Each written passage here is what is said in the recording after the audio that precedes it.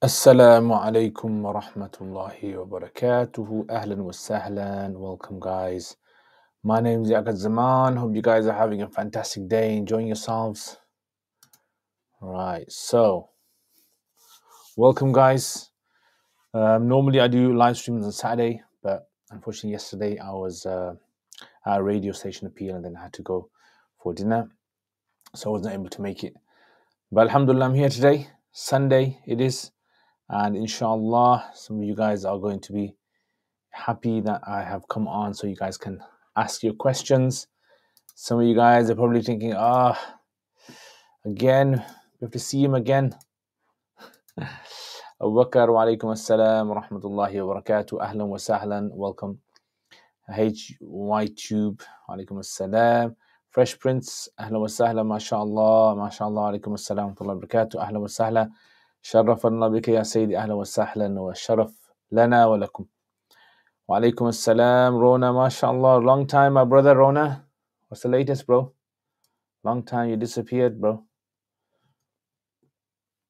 all right so let's crack on with these questions then wasting no time at all straight straight to the to the juicy questions let me just uh, put this on fixed.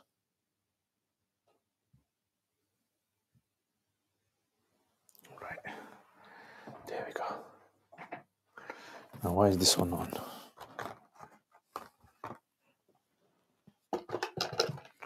Right there we go. Lights are on now. It's a bit more cozy and entertaining right so now i've got some curious cats questions from last week as well which i didn't answer so inshallah i'm gonna try to knock them out as well. Like i want to oh yeah i'm supposed to go on. Supposed to go onto instagram as well guys. I'm forgetting the instagram people. They're probably going to start getting upset. You get used to these live streams you don't come on okay let's check this out. Let's see if of all why it's not working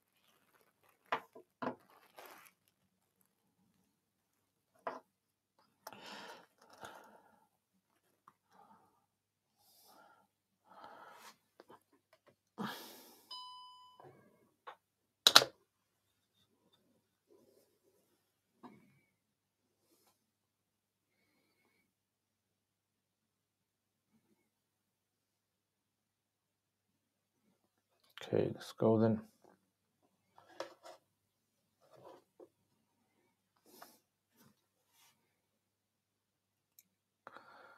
Why this has moved slightly.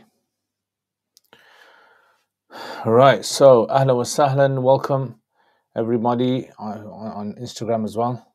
Hope you guys are having a fantastic day as well.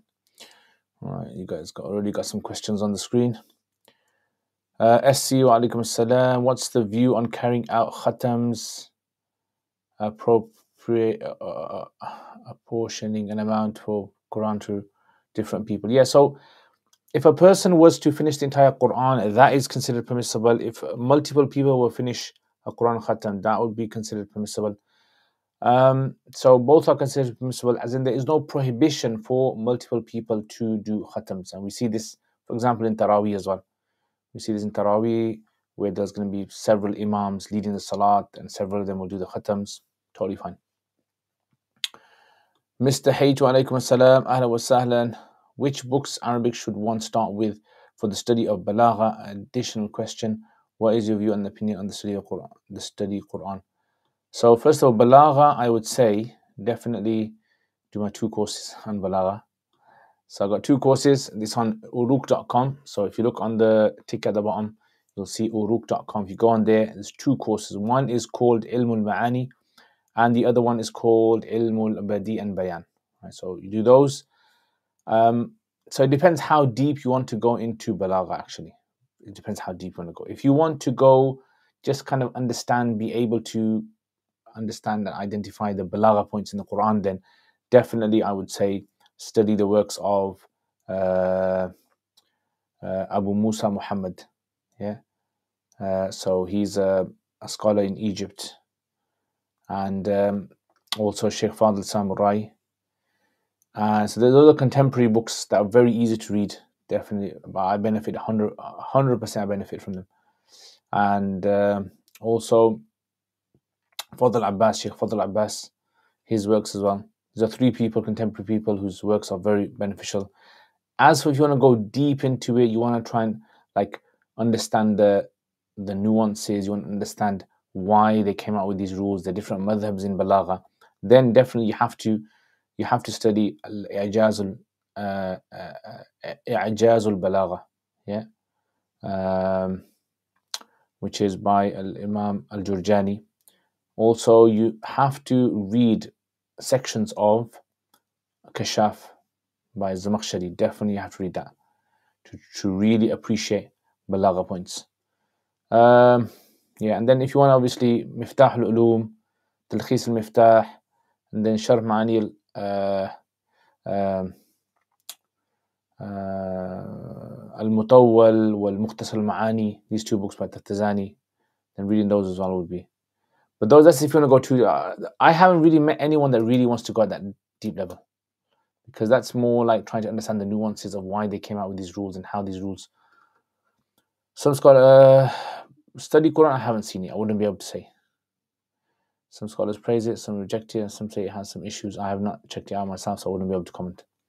Sajid wa alaikum assalam. I just want to give you a thank you for helping me get closer to my deen. As a few years ago, I'm watching Quran videos, and alhamdulillah, I'm able to read the Quran. MashaAllah.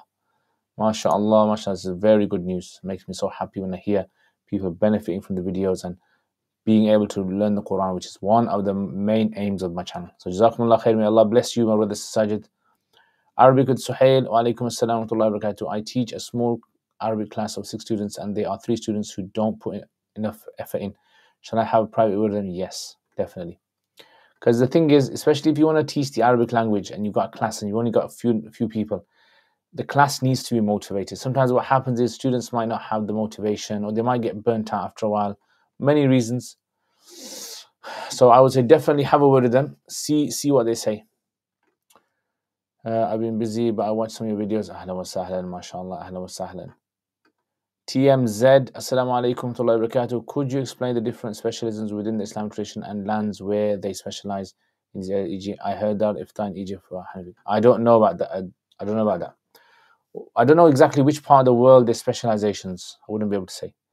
Um, because I haven't really studied in these places to be able to say that. There are individuals around the world who are well known. Um, so that's that's a different thing. The, the, see, the problem is with people saying there's these specializations are the best. Like for example, someone might say the best studies of I don't know Maliki fiqh might be in Mauritania. I don't know. Is that the true? I, I have no idea. Uh, some people might say, oh, the best studies of Hanafi fiqh you might find in Jordan. I don't know if that, that's necessarily true or not. Maybe other places where Hanafi fiqh is also. So the, the, I would generally say that if you want to know the stereotypes, the stereotypes are generally that if you want to understand, if you want to go through the Siha Sitta cover to cover, then in Indian subcontinent would probably be the best place, right? Because they do it thoroughly, but they don't do it in depth. Generally, a few people might do in depth. Um, if you want to go through things like Shafi fiqh, then possibly Azhar, Egypt, or maybe even Yemen. Um, and then if you want to go through maybe like Maliki fiqh, then maybe, I don't know, maybe Azhar as well, maybe Libya, maybe Mauritania. I'm not too sure exactly where the specializations are. Um, but the specialisms in Islam, I mean, there's nothing really to explain about the specialism in Islam.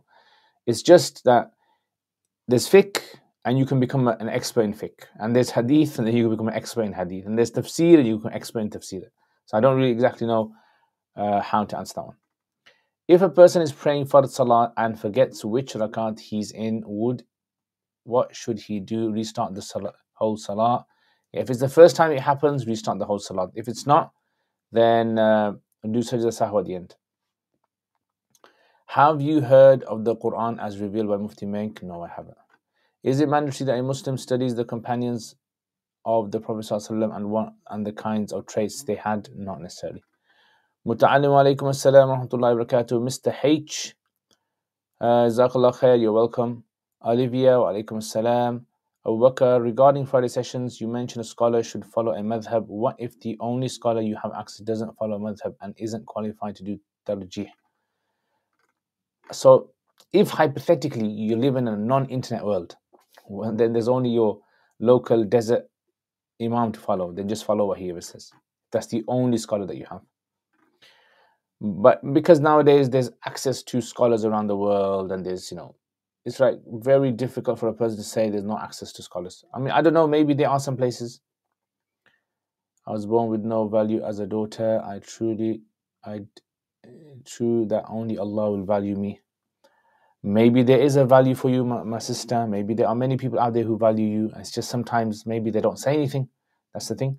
Of course, Allah subhanahu wa ta'ala is everyone. Everyone that does good, Allah does not waste their actions. Remember that.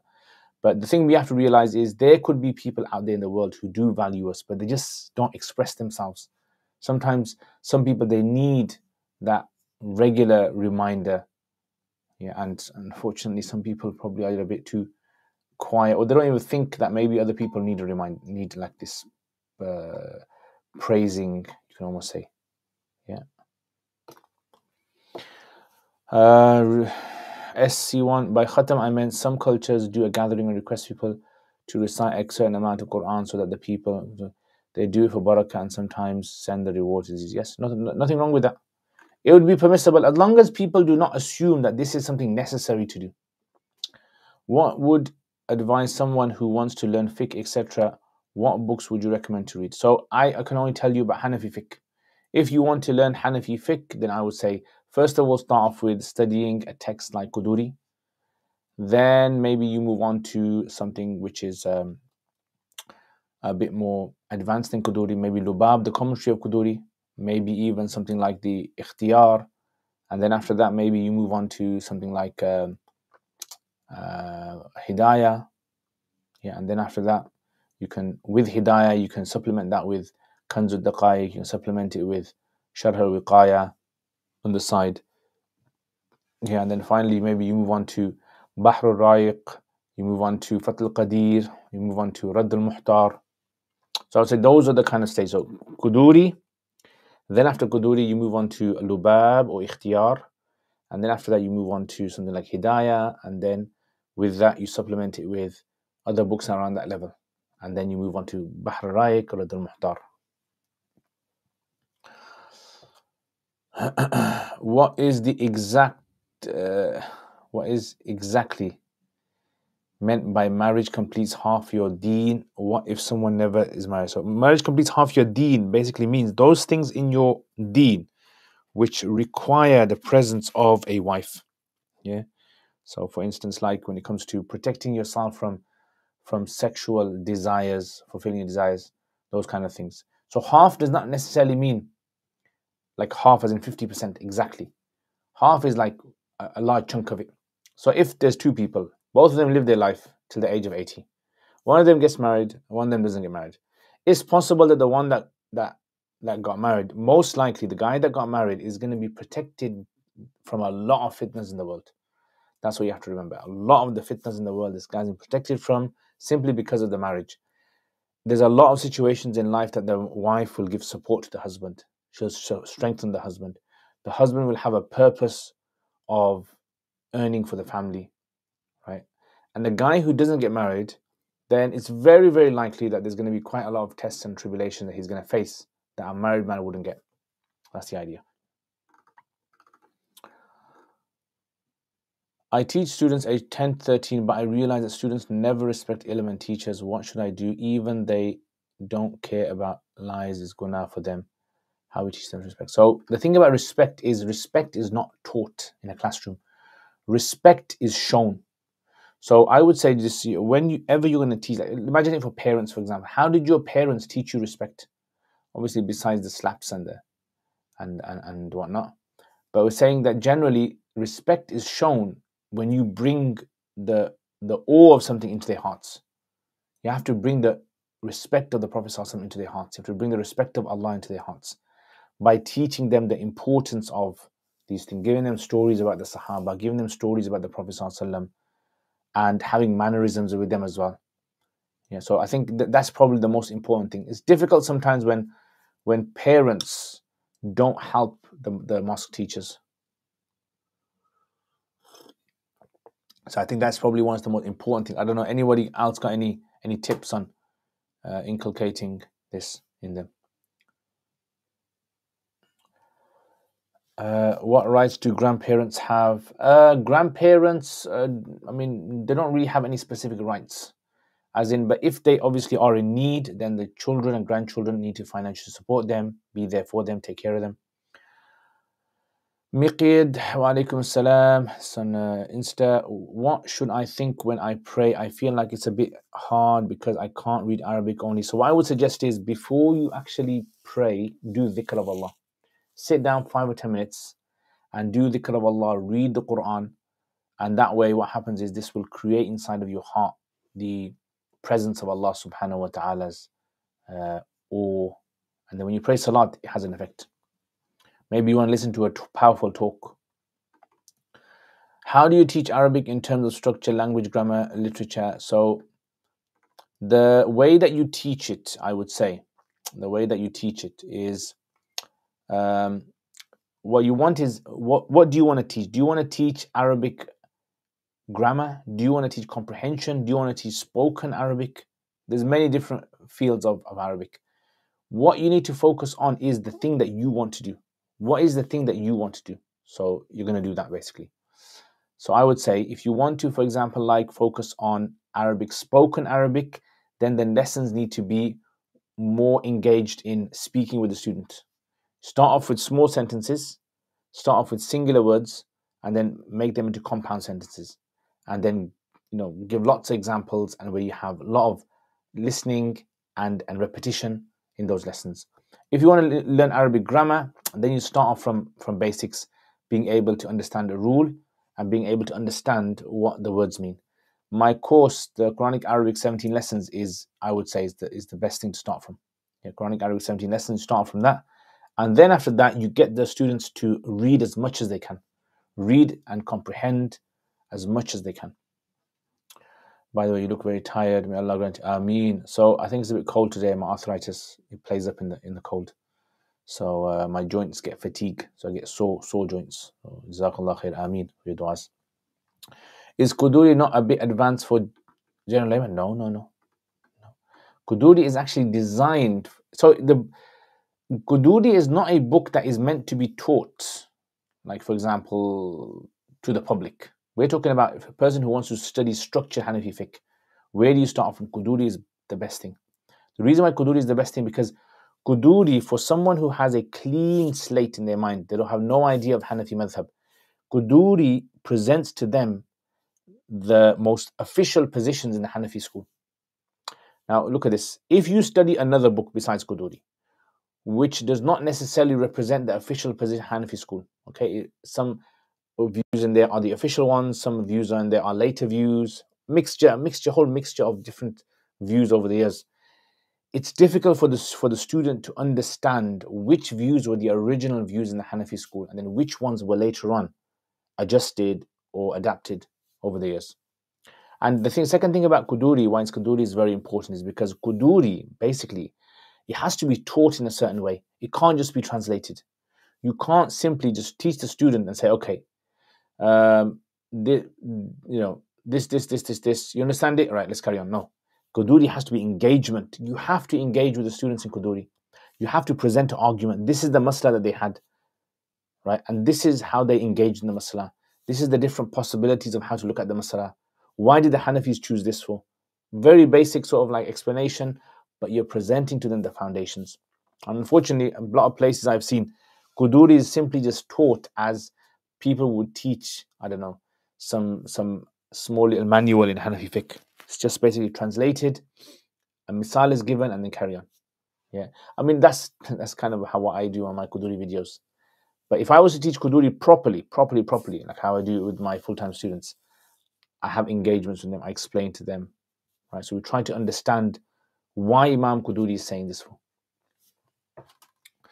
Work, Perkum alaikum salam. Some salah questions, if it's okay. If salah time overruns while in salah, at what point is considered you have made it? I understand. Uh, so, if if you go over salah time, Yeah, if you go over salat. So, for example, let's say Asr starts at 3 o'clock and you started your Zuhr at 2.58 and you've done one rakat or two rakats, then that salat has become void. You have to restart the salat again. It's qada. The only time that is considered to be allowed to go over the time is for Asr Salat. Asr Salat is the only Salat. In classical fiqh books, it is said that a woman can do sa'i in Umrah or Hajj even if she is in menstruation. But some people are saying that nowadays it is part of the masjid. Are both views still legit? I don't know. I haven't I haven't really kind of uh, come across that. I wouldn't be able to say. Um, so I mean, I don't know if the Saudi uh, if the, if the if they can still consider the the the mas'ah part of the part of the masjid or not. So I wouldn't be able to say. But generally, if it's not part of the masjid, then even if the Hanafi say even if it is part of the masjid and she does do sa'i, her sa'i will be accepted, but there obviously will be sin in the sense that um, she's entered the masjid in the state of menstruation. Say you skipped a verse accidentally and remembered during sajda that the verse was if you correct it in your second ruku, do you still need to do sajda sahu? Skipped a verse accidentally? No, you don't you don't have to. It's fine. Skipping a verse does not affect your salat. If you forget surah in third or fourth rakat sunnah sajda sahu, yes. Reading a surah accidentally a bit before Fatiha, sajda sahu. If you've read three verses or more, then you have to sajda sahu. Sheikh, how do we encourage the youth to be more intimate with their deen, specifically salat? The thing is, with youth, you have to understand there are a lot of challenges that the youth have, especially when it comes to living in the West. I would say the best thing to do is you need to emotionally attach the youth to the deen.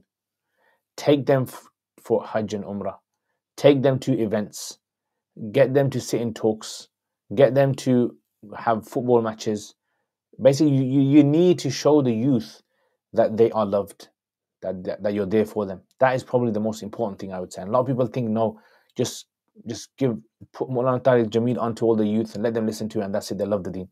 That's not necessarily the case. That's that's a, that's a bit sort of like, uh, uh, you know, what's the word for it? That's sometimes even a burnout for them as well. They get bored of it. What do you think about reading Surah Sad every day to get married with someone who has good akhlaq? I have no idea. I've never come across that. It's, I've never come across it in hadith or anything like that, so I wouldn't be able to comment on that. Um, if you find it works for you, then go for it, read it.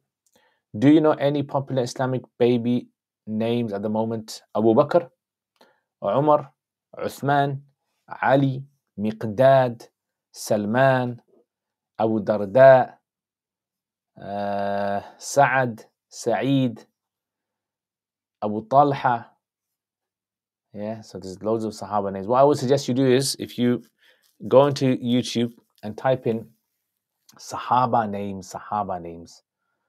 Yeah, so then inshallah, inshallah you'll find some. Uh, Fresh Prince أهلا وسهلا سيدي إن تكون لقاء أم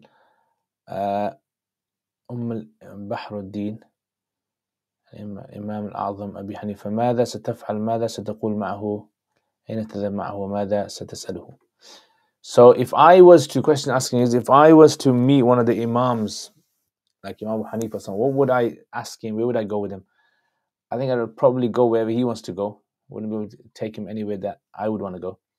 Uh, and I think I would ask him I would probably ask him uh, it's a tough question. I haven't really kind of thought about this. I think I'd probably ask him what are the most important things for a student to understand if they want to specialize in the deen? What's the most important thing that they found that person needs to understand to understand the deen? I think that, that probably would. I don't know. What would you say? Is dua qunut recited before or after ruku in witr? Hanafi say it's before, and it's Hanafi says better before, and it's actually you don't do it after. Sometimes at work it's quiet. At these times I take it easy and sometimes do other things whilst keeping myself available. Should anyone call or need me, am I sinful for doing this? As long as your boss is okay with it, then it's fine. Of course, there will always be little things that can be done at work. It's similar to when we are in the office and we are talking with colleagues. Yeah. So long as the boss is okay with it, as long as that's part of your contract and they're okay, it's fine. Actual work time in the office is never stipulated seven hours, it's much less. What is a good tafsir on Quran for layperson? I would say Ma'arif al Quran is quite long. If you want a shorter one, then Noble Quran by Mufti Taqi Uthmani. What do you say when you undress, both A'udhu and Bismillah or just one? I haven't come across anything to say when you undress. I don't know if anyone knows. Uh, your beard has increased since last time. Allahu Akbar, mashallah. That's the ni'mat of hair growth, my brother. what happens if you started salah but halfway through realize you didn't make a proper niyyah of whether you are praying fard or sunnah? Do you have to restart? Then you got to restart. You mentioned about having a specific goal when starting ilm. What was your goal when you started? I had no goal. That was the strange thing, which I realized now. I wish I had a goal. So in the beginning, all I wanted to do is become a scholar, whatever that meant. I just wanted to become a scholar. That was my goal. Actually, no. My goal was that I wanted to understand the Deen. That's it was a very vague goal. I wanted to understand the Deen. I don't know exactly know what that means. I, I want to understand the Deen, but yeah, it was a bit um, strange. So I think if you're going to start knowledge, you need to. The thing with starting knowledge is I, am slowly building up like a whole, trying to make a whole series. Inshallah, I'm building up a whole list of things which I'm going to cover in a series about ilm. There are also some things that students actually they come with a baggage they come with from before because of past experience with other groups and mindsets. And and when they start studying knowledge for them there's a lot of challenges as well. Unpacking a lot of things that they've had from the past and then trying to so i think that's one of the goals that sometimes people might have they don't realize it. So these are some goals that people might have. Um, Another thing is also that when you're studying, you have to understand that that knowledge has a purpose, which is to serve the deen of Allah subhanahu wa ta'ala. So you have to understand you are going to become someone who is gonna have a responsibility on them, on their shoulders as well. So having a responsibility, and people say, "Oh, I'm too scared of responsibility. I don't want that." But but that's that's that's silly. That is that's like trying to say, "I want to study medicine, but I don't want to help people." Right? It's a kind of like a strange it's a strange kind of mindset to have. So learn the knowledge, but remember that you want to learn knowledge and you want to pass it on to other people as well. Is it wrong to dry a limb while still doing wudu, e.g., at work and need to do footwork? No, it's permissible. Haza ahla wa sahla wa alaikum assalam. Is question now permanent on Sundays? No, it's just one off.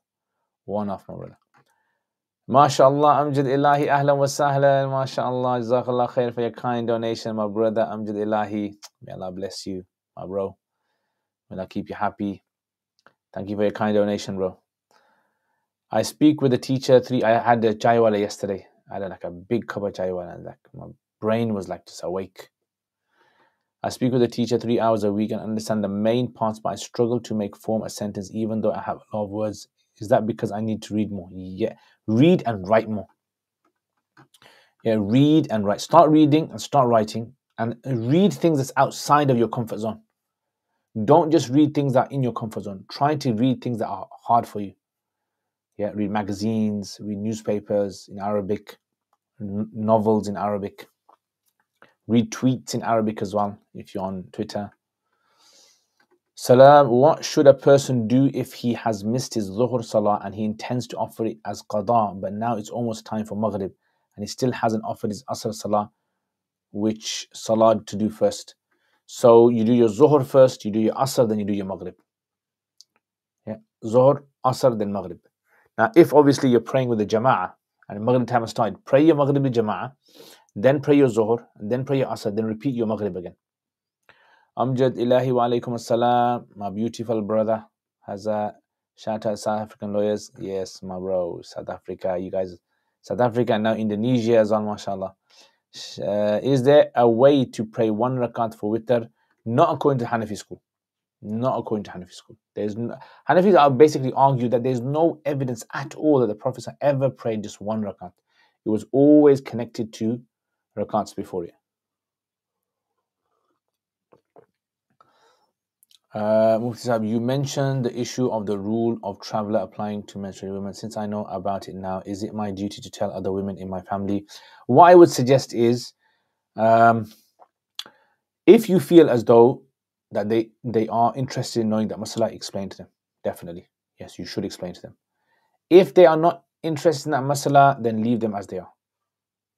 Yeah, so because it can become confusing for them, I would say. But yes, you should explain to those people who are interested in understanding the masala. Junaid, ahla wa sahla wa alaikum assalam, brother. Just stopping by to say hello, ahla wa sahla, ameen, ameen, my brother. Hope your revision for your exams is going well. These guys have got exams coming up in a week's time. If a person suffers from acne and when he grows facial hair, he increases the acne and rash. In such case, is trimming, the, removing the hair permissible?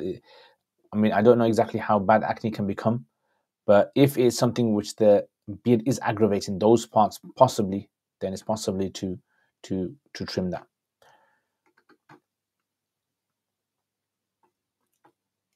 When changing, when putting on clothes, you mean? There's a dua for putting on clothes, donning clothes. But for taking off clothes, I haven't really come across any dua.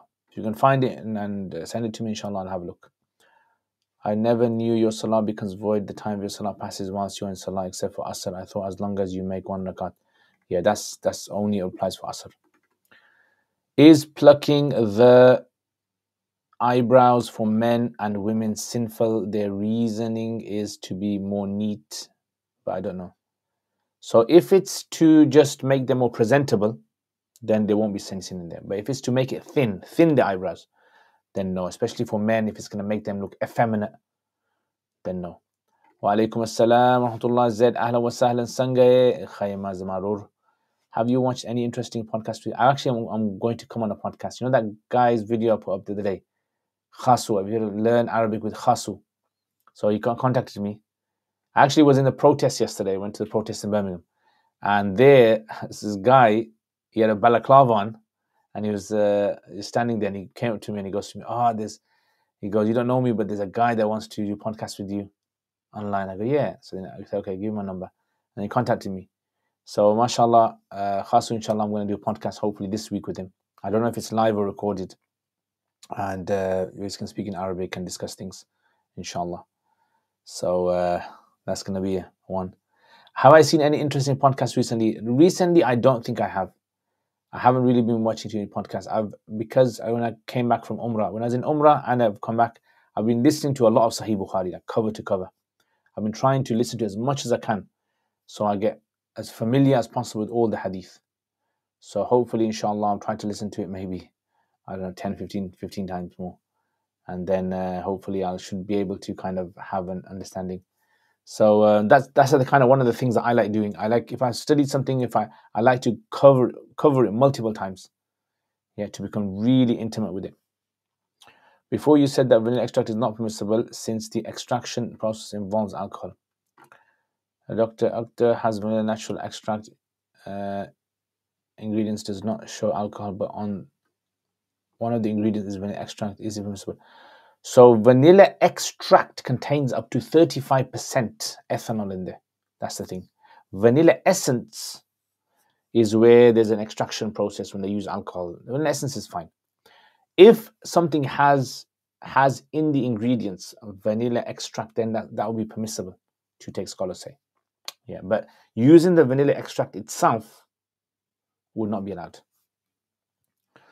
If a person wakes up with semen on the clothes but doesn't recall a wet dream, ghusl must be done.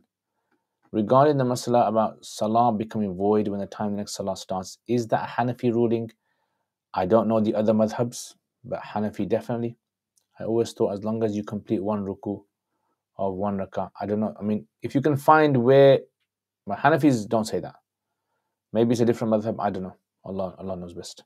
But if you do follow another madhab, make sure you check it out with scholars of that madhab. That's all I'm going to say. Always, if you've heard something, don't just go by by what you what you think you understood from it. Always get it checked out. Are du'as accepted after Fard Salat? Inshallah. That's what that's what's mentioned in some hadith. Are you able to pray Isha till midnight? Yes, inshallah.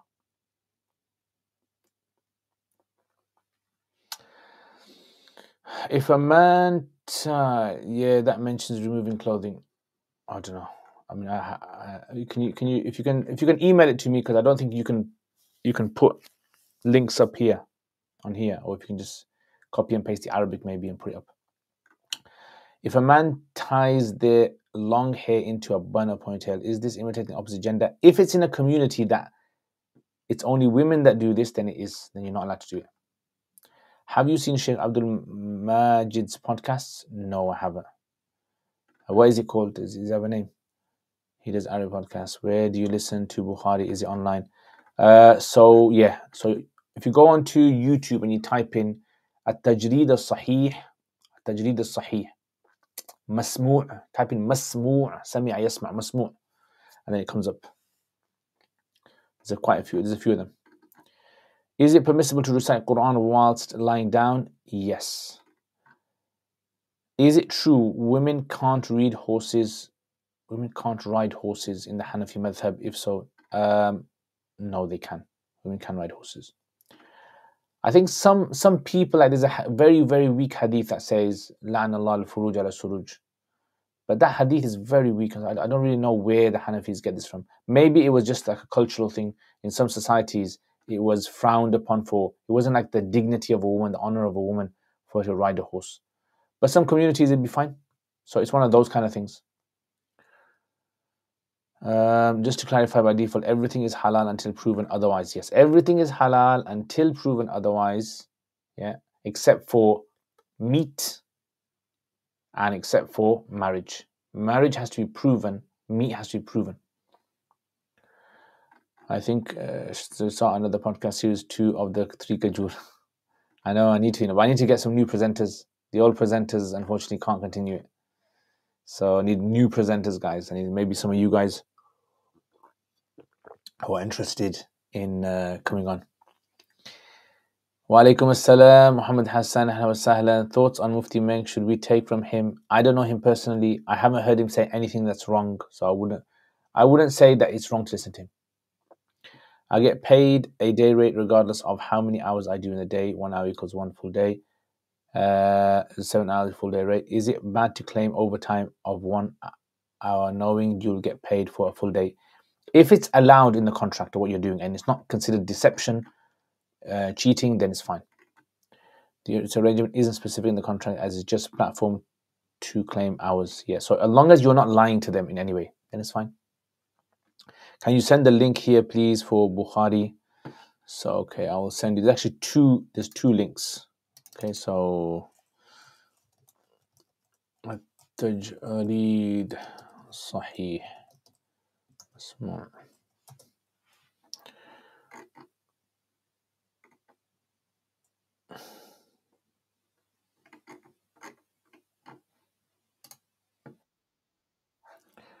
Okay, so this one, this is not the full thing. This is, uh, I think, about a quarter of it.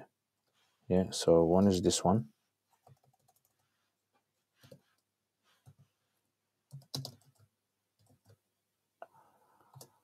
Okay, one is that. And then there's another one.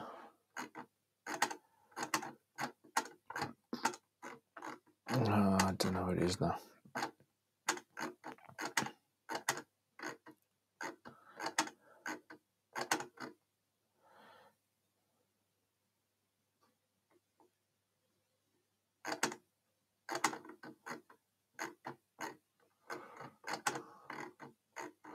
Yeah, well, that's one. I can't. The other one I can't seem to find. If I do find it, I'll try to put it up onto uh,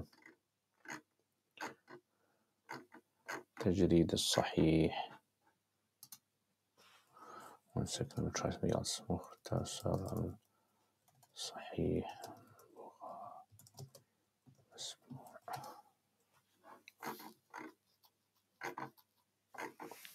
Okay, it is.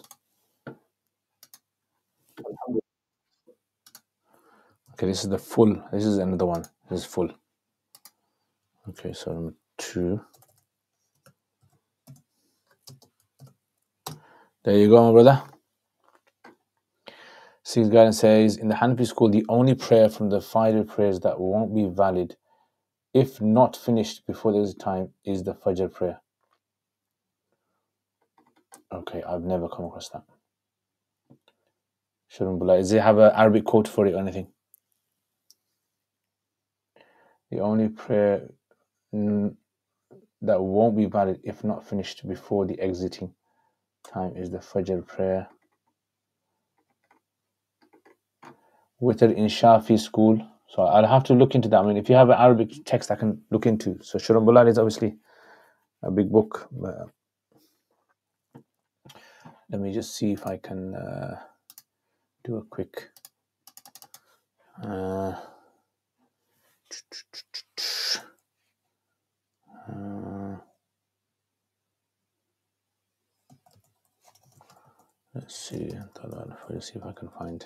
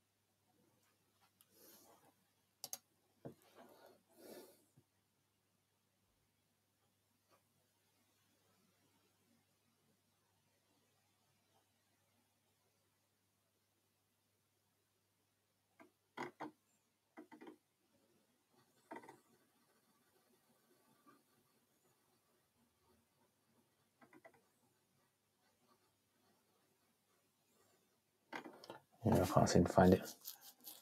I don't know.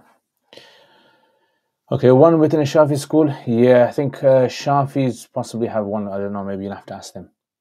Boxing MMA. Ahlan wa sahlan wa alaikum assalam. It's called the Shakeology podcast with Sheikh Abdul Majid. Okay, I'll have a check of that. If I like someone, Dean, I want him for halal. Can I tell him directly or should I send someone? Yes, you can tell him directly as long as you know it's not going to cause fitna. So I would suggest you get someone asked else to ask. Yeah, just so that there's not that fitna that there might be a relationship that start might start between you and him. I would volunteer to be on podcast as a presenter, inshallah. Jazakallah khair. Inshallah, I will consider you, inshallah, my brother. Arbaz Khan, what's more virtuous, seeking or voluntary acts of worship? Seeking, virtues of more virtuous seeking. So, what do you mean by seeking knowledge? Are you talking about learning knowledge? Learning that fard knowledge that required for the deen is absolutely fard upon everyone. Then beyond that, learning the extra parts of the deen is considered more virtuous than praying nothing. Is it permissible to work as a cashier, but they would also operate the lottery system for ticket buyers along with the scanning? I would say there'd be some scope there. There'd be some scope.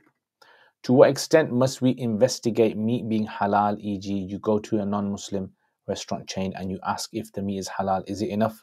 Or should yes, just ask them if it's halal. If they say it's halal and you don't see anything contradicting it, then fine. Eat. Why didn't Sahaba form schools of thought of fiqh and were uh, where fuqaha get their principles So you have to understand. Watch my video on the the history of madhabs and evolution of fiqh. So what basically is is that when Sahaba were living in their days, their understanding of the deen was simply whatever you asked the Prophet ﷺ, he would answer. So many Sahaba simply just lived in small societies that there wasn't any any any sort of drastic change that occurred in their society. So that's why there wasn't really much need to investigate too many things. But as the time was going by, the, the scholars understood, some of the Sahaba understood this as well, that there has to be an understanding, like principles that you have to use in order to understand certain certain masail chapters. That's where these madhahib stories started to develop from. So you, so to understand this question, you have to understand the history of how a science develops. Is it true that women can't touch the Quran while menstruating? That's, that's correct. What if she is learning to read the Quran so if a woman is menstruating, she cannot read the Quran as well. She can't touch the Quran, she can't read the Quran. However, if it's she has to, as in it's something which is gonna cause her problems because she's trying to memorize the Quran and she's going to forget it. Then what she can do is she can hold the Quran with a cover, get herself an extra cover, and then open it with that, and then with something else you can flick the pages. And otherwise, she probably can use some sort of a tablet, you know, tablet like an iPad or something. When I'm praying, my hat covers my forehead, so there's a gap in sujood.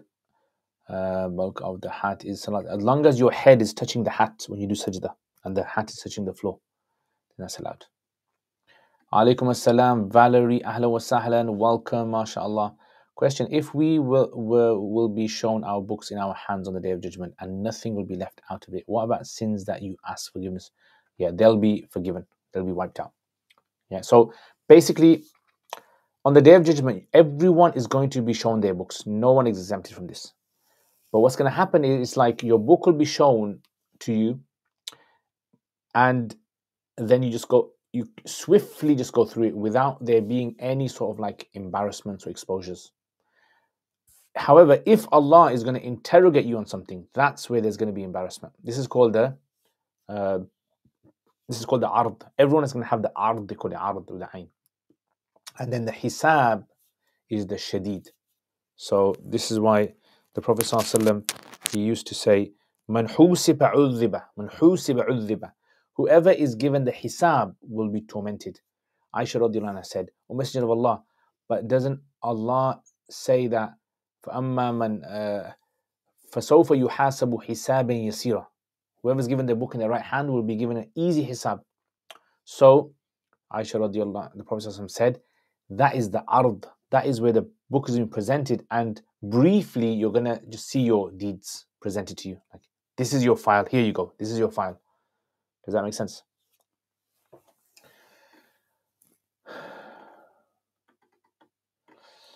Uh, they don't give an exact reference, yeah. So I, will have to look into it. I mean, I've never come across this masala. I've never come across anyone before, before mentioning it there, mentioning it. I was at a halaq the other night and heard a lecture, halaqah the other night and heard lecture. I wanted to ask, but was shy to. Yeah, yeah. I hope you understand the answer. Yeah. So basically, on the day of judgment, every single person will be given their whole file. Imagine someone's hands you your whole file of your life right? And then, you know, some people will have no hisab, meaning they will swiftly go through it without any, without any sort of embarrassments.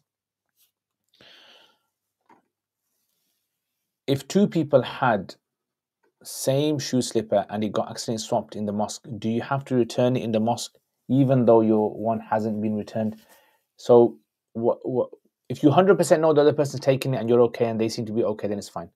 Otherwise, technically you would have to go back to the mosque. You would have to hand over the slippers to them because it's an amana or you keep it and you tell the mosque say look i've taken the slippers. If the guy does contact here's my number.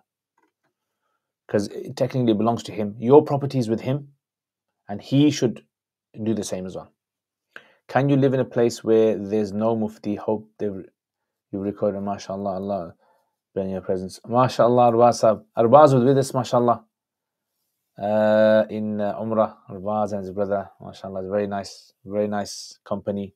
Alhamdulillah, Allah bless you. Hope you're well. Hope you too have recovered. MashaAllah, so nice, very nice. Uh, can you live in a place where there's no mufti? Of course, of course you can. Yeah, but obviously we're living in a time of social media today, so getting in contact with someone who is knowledgeable is is much easier than than it was in the past. In the in fact, in the past, there were many places where it was difficult to actually get access to a mufti. You'd be surprised. What is the proof that a wife can see her family at least once a week? Um, so, so generally, this is considered to be this is considered to be from the urf. Generally, that this would be considered to be something that once a week would be from the urf here. What did you mean by there is some scope for being cashier and having to separate? So scope basically means I can't give a hundred percent answer on this because I'd have to look into other other issues. But generally, if there is a job and there is no way of getting out of it, if there is a way of getting out of it, speak to your boss. Say, look, I'm not comfortable with dealing with lottery tickets. Then you you won't be allowed to deal with them. But if there's no way, and this is the only way you can do this, and this is the only job that you have, and it's difficult for you to find another job, That's what I'm saying. This scope. So in these kind of answers, you generally notice I do say these, these kind of statements. Possibly it's allowed. There's scope for it because in these kind of things you can't give an absolute answer without knowing all the background details. You're welcome, Valerie. You're welcome.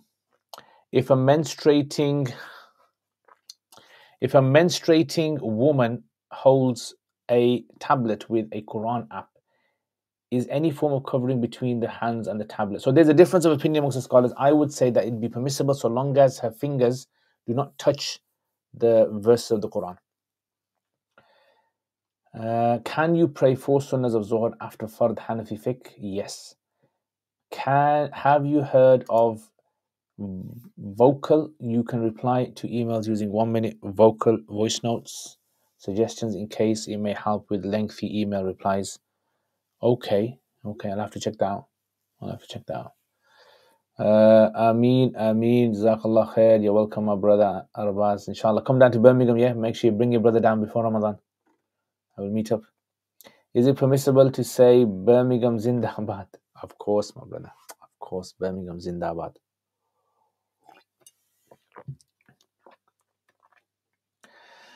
Uh, what's your view on Mufti Max latest? I have no idea what his last controversy was, or the latest controversies.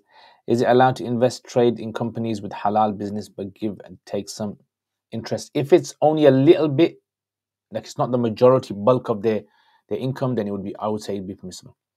Mariam, if if I like someone, the that's the one.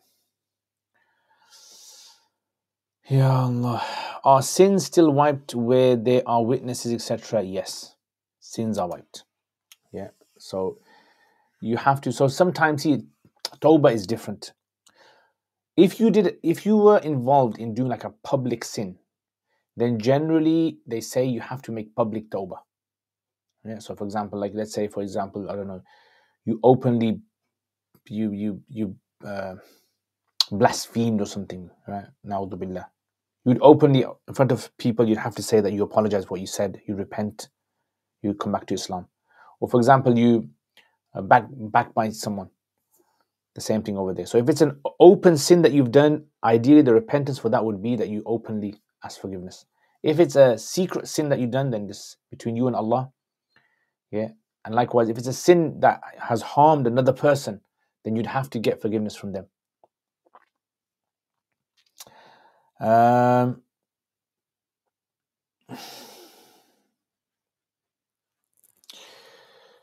is there an actual authentic narration that says if you pick up rubbish from the mosque floor, you will get a whole ain? I have never come across that. I never, I never know where they people get that from. Tayyib alaikum assalam. When in Quduri, the author talks about a dog, goat, and a human falling into the river. Does it mean a dead human? Yeah, like dying in the river falling and dying in the river. Yahya Khan can you give a summary of the ruling regarding praying while on a plane sitting down? Yeah, so the ruling on a plane. So look, Hanafis do not have any position with regards to praying on a plane because when they wrote their books, there was no invention of the plane. They never imagined people would be able to hover in air for hours. So they have never mentioned it. Later Hanafis now have now uh, a split. Can you pray on a plane or not? So some of them say, no, you can't pray, pray on a plane because prayer has to be done on something that's connected to the ground. That's what some of them argue. So they say you don't pray on a plane. You just do qada when you get off. Other groups say no, you can pray on a plane. Yeah, you can pray on a plane because the idea is not praying on something that's connected to the earth, it's praying on a surface that is stable. And obviously on the plane, you can pray on a surface that's stable. However, do you pray standing or sitting? So you should pray standing. But if you know you can't pray, if you know there's not enough space, it's going to cause massive inconvenience on the plane, right? To pray. So you've asked the students, and you, or you know that they're most likely going to say, "Look, we can't, we can't do it because the flight time is too short, or they have to serve dinner." Then pray in your seat. Pray in your seat, sitting down. That would be fine, I would say. Assalamu alaikum wa rahmatullahi wa barakatuh. Ahlan wa sahlan falling into a well. Jazakallah khair, Kas. What do you think of the Hanafi position of Darul Harb and how some Hanafis in the UK take this view and give fatwa that there is no riba between us and Harbi? Possibly. So Imam Abu Hanifa rahimahullah, he basically says that the the Muslim who is in Dar al Harb, he's allowed to take, he is allowed to charge a non Muslim interest for loans. So let's say there's a Muslim, he comes from a Muslim country, goes to Dar al Harb, and when he's there, he, he, he opens a business which he borrows people money, but then takes the money back with extra interest on top. If he does this with non Muslims, Abu Hanifa rahimullah says that this is okay, this is allowed. Why does he allow interest in Dar al Harb but not in Dar Islam in a Muslim country? He says because the the protection, the protection of a Muslim's wealth, the protection of a Muslim's wealth is there by Allah. Allah has protected a Muslim's wealth. So riba is is going against Allah's protection.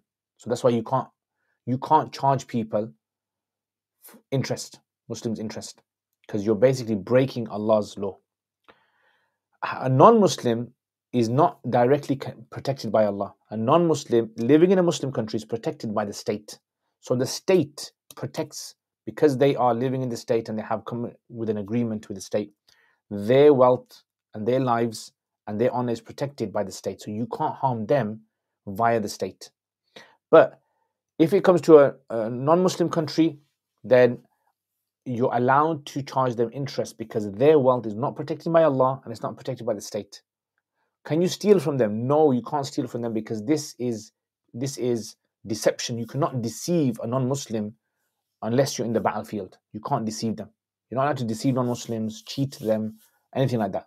This is wrong, totally wrong. Does that make sense? So this is why, like for example, backbiting a non-Muslim in a non-Muslim country is allowed, even though we know backbiting is wrong. But the reason is because Allah has not protected their honor in in the non-Muslim country. So that view is a very strong view, and um, it's plausible. Yeah. But again, there, there are other contemporary Hanafis who take the Abu Yusuf view on this. Abu Yusuf Rahimullah's view is that it's not allowed. In Islamic country, you can't do riba, and you can't do riba in non-Islamic country. When making up missed prayers, Fajr, should you pray Sunnah too? No unless you have just missed your Fajr and Zohr hasn't started yet. Then you make up the Sunnah and the Fard prayer. So, do you eat HFA meat? What is your view on it? Uh, so, I do not really have an issue with HFA meat. From what I've read, I've spoken to people, they've said to me that the stunning is not lethal stunning. So, I don't have an issue with it. I know some people want to be super cautious and stick with HMC. That's up to you. If you want to do that, that's fine. And I think that, you know, sometimes if you want to be extra cautious, that's good as well. But sometimes what happens is, is that I might go to a place where someone someone did, dinner for me and they they slaughter they get HFA meat and I can't say to them no no I don't eat that. If a person has wudu and another person sees them whilst their aura is not fully covered, does this person wudu break? No. According to Hanafi Hanafi madhab, your wudu does not break unless some impurity comes out of your body. If a credit card charges interest whilst you're trying to repay and clear the debt, is it sinful? So if it was something which you're trying your best not to incur, then hopefully it won't be. Ask Allah Tawbah. If it's something you knew you you were intending to to get interest, then that's totally sinful. You need to seriously repent, stop, stop using the card like that. Uh, what can I do for extra barakah while pregnant? Read as much Quran as you can inshallah. Did women used to pray in mosques during Sahaba time? Yes, they did. Many of them prayed at home, many of them prayed in the mosque. The Make was getting scrutinized for Quran book he public, publicized and a marriage app. Okay. Right, next. When praying on a plane, could you stand at your seat and do partial ruku? So the Hanafis say if you can't do full sajda on the ground, you do not have to stand. Standing drops from you. That's what they say. But if you want to do that, and it's possible, I think it's very hard to do so on the plane. You know, if you've got some good uh, gymnastic skills, then maybe. Slave of Allah alaikum assalam. I know of a madrasa who is considering not teaching Hidayah in the Alamiya program as they say it's not necessary. They will study fiqh al and Quduri only thoughts. I wouldn't see the thing is there's a lot of Alimiya I don't think they should be called Alimiya courses to be to be to be honest. I do not think they should be called Alimiya courses. They should be called Islamic courses. They should be called uh, intensive courses. Give it give it a nice name, but don't call it an Alimiya because when people say Alimiya, there's like a threshold. There's like this understanding of what you're going to hit, right? And students need to have a good understanding of fiqh, a good understanding of hadith, good understanding of usul. If you're not going to study usul properly, and if you're not going to study hadith properly, and you're not going to study aqidah in detail, you're not going to study fiqh in detail, then don't call in an Alimiya course, honestly. These are the four sciences I would say that need to be studied at a very good level and maybe bring people in, other expert scholars in, to assess your syllabus.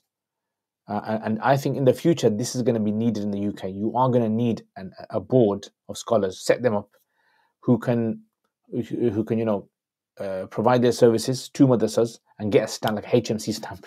Seriously, that's what we're going to need. We're getting like a HMC stamp of madrasas that have that are people are satisfied. This group is satisfied of scholars satisfied that this madrasa is is worthy of being called an alimiya course. Inshallah, I think hopefully some people should start that. If a person dies in debt and no one pays his death, will there be continuation? Allah knows best. For example, if someone is changing their clothes and they are seen by another person, will their wudu break? No, it won't. Backbiting a non-Muslim is allowed. Yes, as long as they don't live in a Muslim country. With regards to Umar's Harbi question, our local mufti is fatwa that mortgage is there for halal in UK. If acting on our mufti, will, will it be sinful? Uh, no, you won't be sinful. Yeah, but again, I mean, get it clarified by the mufti. Sometimes what happens is someone says, our mufti says this, but they haven't spoken to him. I would say, speak to that mufti, tell them the situation. So the Hanafis generally talk about, the Hanafis generally talk about, mm, you know, certain scenarios in Dar al That's why it needs to be clarified with the Mufti. Speak to him. Wa alaikum assalam wa rahmatullahi wa barakatuh. My brother Masir Ali. What's happening, bro? It's the latest. You're welcome. Is the mu'tamad for interest in Dar al given according to Abu Hanifa? Here's where the mu'tamad. So this is why mufta is differs from person to person on this issue. Yeah, so, so it depends who you ask. But officially, Abu Hanifa's view is considered to be Imam know, James takes this, and many others take this. Uh, some of the others they don't take it. So this is why when people say the mu'tamad position, this is a very tricky, tricky statement. When it's a very loaded statement. Like, do all Hanafis agree upon a particular view being mu'tamad or not? That's where Many views are Mu'tamad, everyone agrees, and many views are like a grey area where Hanafis may differ. It's like, for example, the size of the beard. Is it what's the Mu'tamad in the size of the beard? And obviously that's going to differ. In arranged marriages, the wife may be resistant to accept in her heart, but still proceeds. Is such marriage halal? Yes. Does laughing in salah break your wudu? Yes. If you speak negatively about someone who is loud on the bus, for example, would this be considered backbiting? Like if you're basically saying this person is very loud, it won't be negative. If it's causing a nuisance to people. How can one pinpoint a specific future learning goal if they feel they have no particular aim except to develop yaqeen in their beliefs? That, I mean, I think that person themselves doesn't really have a goal then. So that's fine. If they just if they just want to do that, that's fine. They then they can just they just want to have that yaqeen. It's totally fine.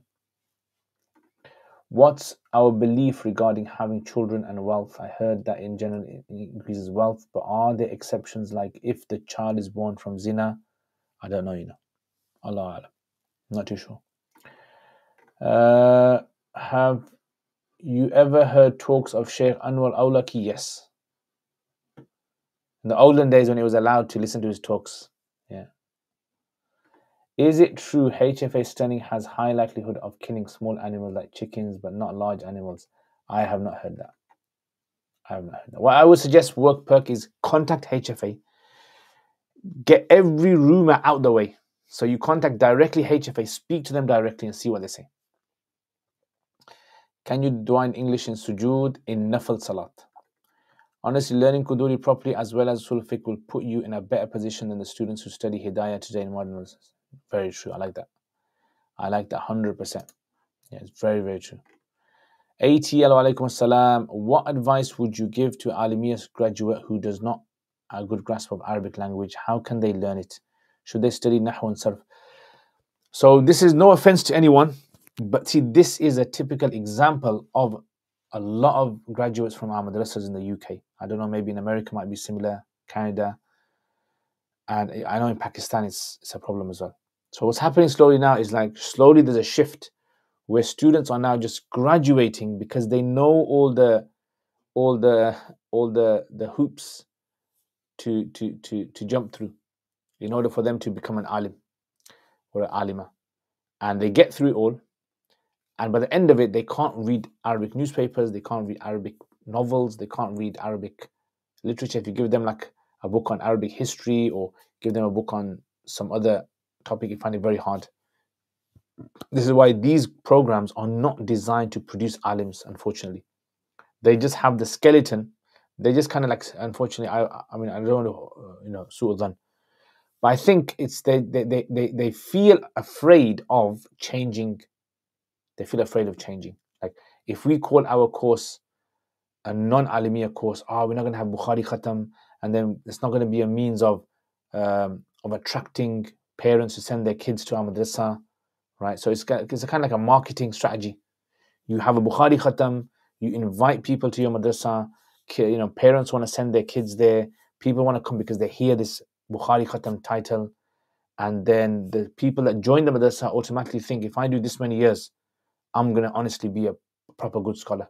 And unfortunately, that's not the case. And even if they really work very hard, the students, they probably won't get more than 60, 70% of capacity of their potential.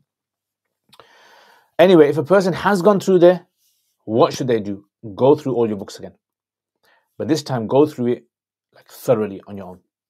And if you get stuck in anything, then ask someone. Right? And that's probably the best way to do it, honestly. You'll be surprised. I have I teach students in a Sufa who have studied in other places, got a certificate of being a Maulana, like a Maulana certificate at home, that they're alim, they did Bukhari Khatam, but they started from year one all over again. Now you imagine that. Big thing, in it. So start again. Do all your, but this time do it yourself. Read as much as you can. Honestly, read it as much as you can. Um, but you can do it, inshallah. Don't feel down. If you have gone through this, do not feel down at all. Do not feel down what I've said. I'm just saying this because I just want to put it out there. People don't get upset. People don't feel as though the, the institute has let them down. It is a shame that the institute has not been transparent with them, but that's something you know you gotta you gotta take. Is dyeing the hair, the white hair or the beard, plucking sinful? I heard that every white hair acts as nur. Uh, it's permissible to pluck it, but it's best to avoid. Yeah, dyeing is totally allowed. Assalamu alaikum. I was not expecting a stream, and you got a stream. Look at that. You weren't expecting it, but you got it. This is what kind of guy I am.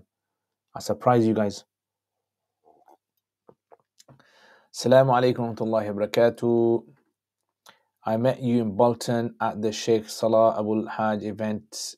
What are your thoughts on his general approach to Hanafi? Um, so from what I've seen, mashallah, very uh, competent, very well versed in the books, very confident in his in his in his subjects as well. I don't know exactly, like there might be certain things that I might disagree with him on certain points, um, and I did speak to him on, on the side on certain issues. But I would say generally, mashallah, is very, very like sincere in his mission. His mission is to really get people to truly understand the Hanafi madhab. I would say, and you might disagree with him on certain points, which is fine, totally fine. But don't you, you can't sort of like ignore the, the amazing thing he's bringing to the table, the way that he's trying to remind people about the Hanafi school. Uh, Alhamdulillah. The mu'tamad changes according to the madrasa and the person you ask. Yeah, that's why it's not mu'tamad. wazifas? Wazifas. As in, do you mean like al wazifa in the Urdu wazifa? Yeah, or Arabic one? In the Urdu wazifa basically kind of means like a like an uh, a litany. Yeah, so like a little dua that you read or a dhikr that you do. In Arabic, you call it hizb. If a person is married but fears having children because of uncertainty and lives his marriage that way, is it sinful? No, it won't be sinful. I think their lectures are like goldest. AAA. Oh yeah, they call him AAA because like obviously you can't you can't openly listen to him in the UK. Going back to my question about Hidayah in the Alimiya program, do you think that Quduri is enough? I wouldn't call it uh, Quduri is not enough to for a Alimiya program. No, absolutely not. How much Hidayah or Hidayah is covered at so far? So in the in so in the in the full time, uh, we have I think probably two thirds of it. Yeah, maybe two thirds of it's covered maybe two thirds or three fifths of it. I would say three fifths of it is covered.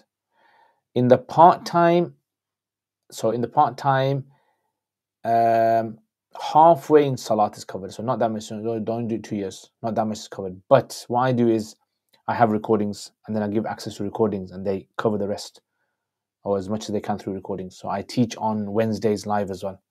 So I do it and then I give them recordings. So a lot of the stuff in the Sufa as well, what I try to do is supplement it with extra extra lessons of recordings that I have.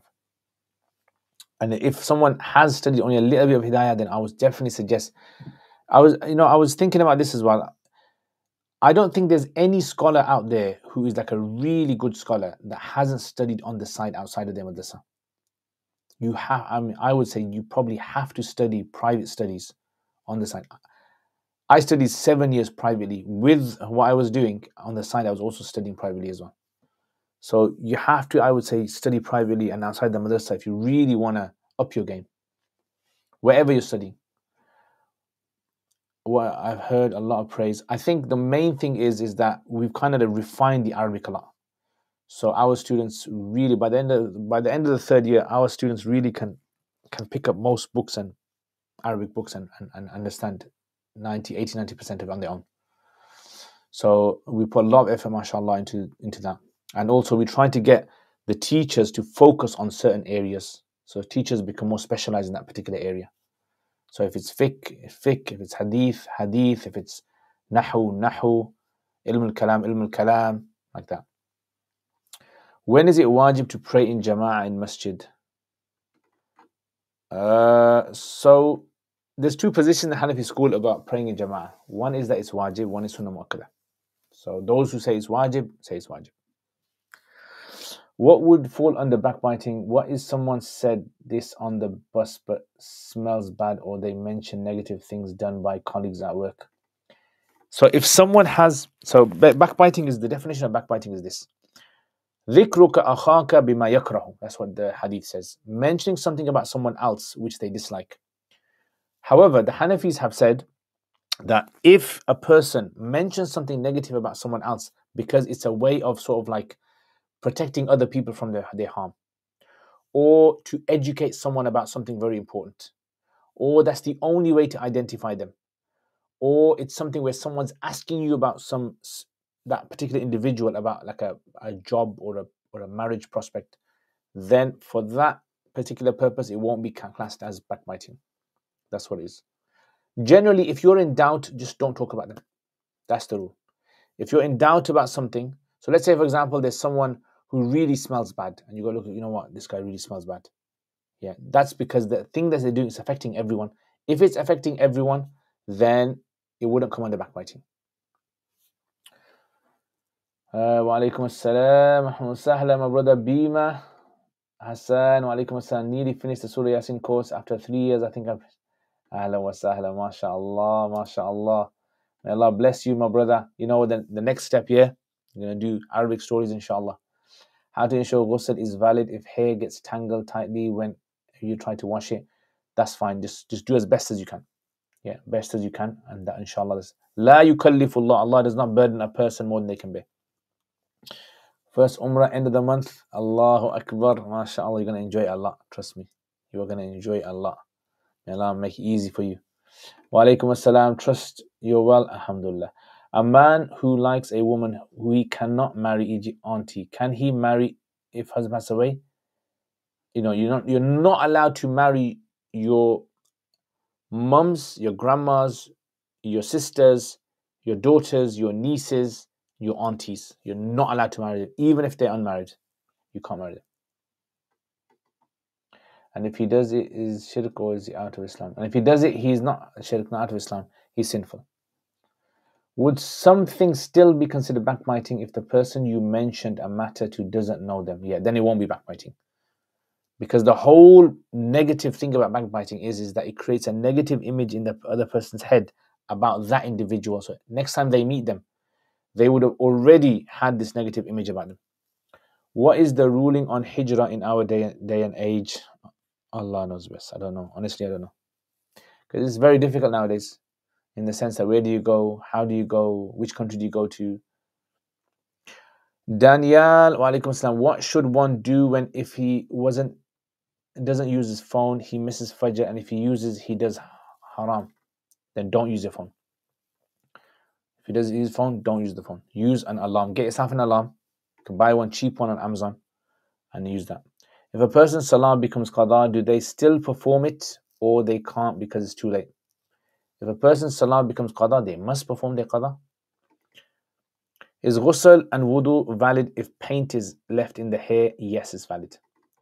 Is it cultural or sunnah that people make adhan in the ear of a newborn? No, it's, it's from the hadith. So they should do it ASAP when the child's born. Hoopers, wa alaikum assalam. Following up on the question about graduates and have weak Arabic, what advice to recommend to a senior Alim student who wants to fix the Arabic? Okay, so if you want to fix your Arabic, what you need to do is number one, start to go through Arabic stories on your own, kids' Arabic stories, and progressively go through year by year. Go through them and try to start writing Arabic yourself. Like, like try to do creative writing in Arabic. Those are two things I definitely would recommend, honestly. Never underestimate underestimate this. Still waiting for the link up day, Ustad. Uh, okay, contact me, inshallah. Contact me tomorrow, and maybe I think maybe this week probably be able to do something. Yeah, if you're free this week. Yeah. How would I know that I'm doing a good job with reading comprehension when reading Arabic books? And do you know so I would say, look, the only way you're going to know is you throw yourself in the deep end, isn't it? Don't be afraid. When you're learning a language, there's nothing to be afraid of. It's all good for you. It's all, it's all gain for you. There's no loss. So don't be afraid. Just get yourself in there and just start. Children's Arabic books you can get on a website called Tajura. Yeah, it's called Tajura. Tajura.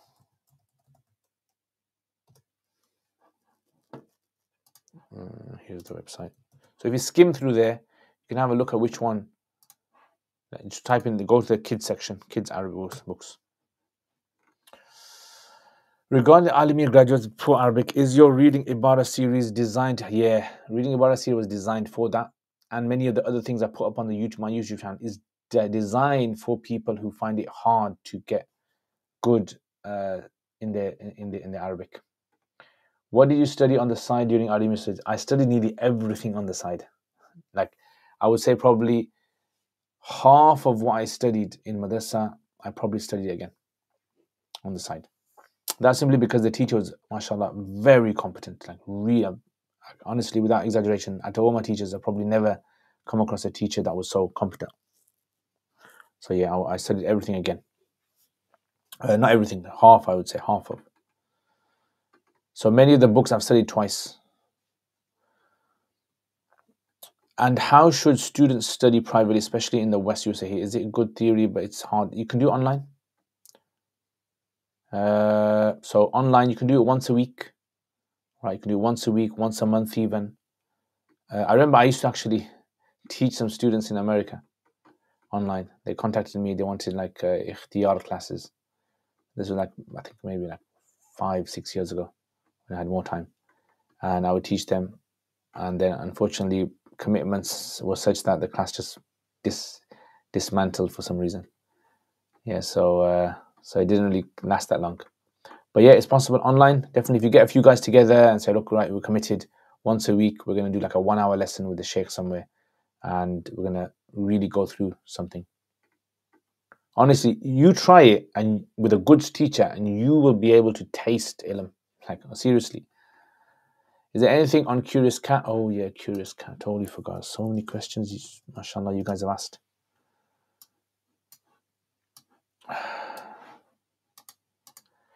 Okay, Curious Cat. I work for a corporate. They overpaid my two pounds in my final pay slip. If I go back and try to rectify this, it will be long HR. Yeah, just donate it. Yeah, so donate it. If it's going to cause too much hassle, just donate it. Walaikum salam. I recently purchased some sweets. They are made by a non-Muslim company, but they are vegan. However, in the pack is written made using a vegan recipe, packed in a factory that handle gelatin products. Would that be okay? Yes, it's okay. Salam. Yes, it's okay. Uh, salam, can you help me reply on the live stream? I know serving parents and family is really important in Islam, but I keep making mistakes and I'm scared my parents are dying and then living life and regret. E.g., I have to do something and they suddenly ask for my help and I get annoyed because I want to do the task. I moan and I'm scared of falling under the people who say, "Oof!" I eventually do the task, but a lot, uh, I lost so much reward. How can I serve my parents better and be able to remember? Look, by you feeling this, this is a good sign. Yeah. So salam. This is a good sign, and inshallah, uh, you will get reward for your concern, for your concern and efforts. So remember, look at this.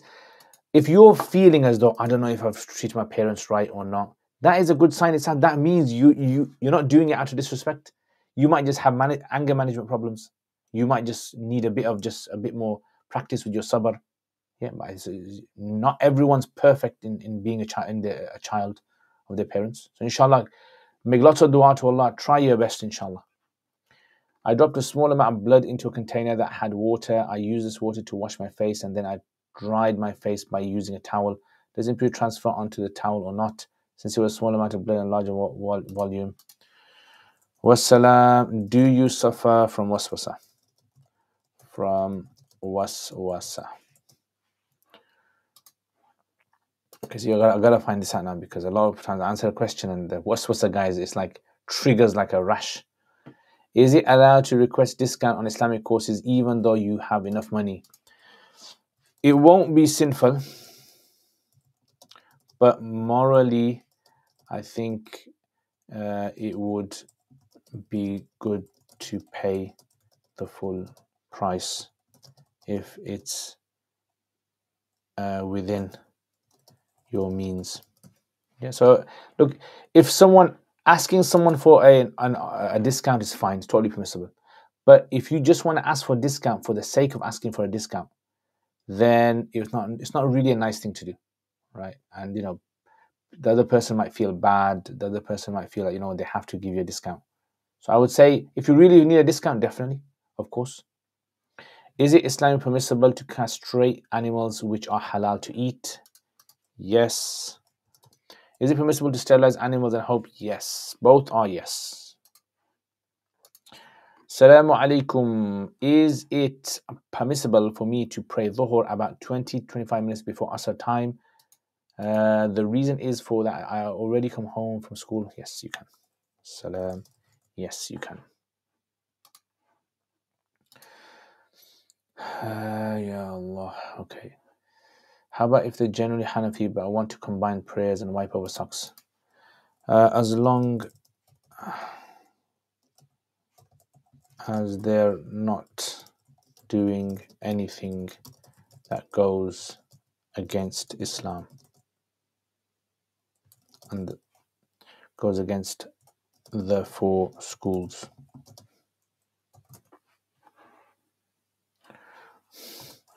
You can try to educate them in your fiqh. Okay, Salam, please answer here. Can I regularly say Allahumma salli ala, ala Sayyidina Isa?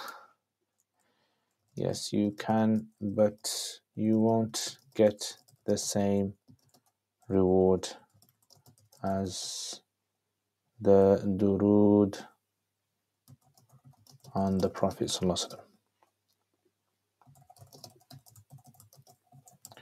we so you can send salutations it's fine. Uh, but you obviously won't get there. Is the belief the prophet knowing when the hour is acceptable? Is the belief that the prophet has complete ability to do as he pleases acceptable? Is the belief that the prophet is made of light acceptable? Is the belief so these are kind of ilm al kalam questions i don't really kind of answer these kind of questions. Salaam alaikum. Sometimes it seems like when I pass wind, a minuscule amount of urine leaks out on private parts. I also deal with in, urine incontinence uh, and of should I change my undergarment or ignore it? Wassalam. If it happens regular, you can put uh, tissue, your underwear,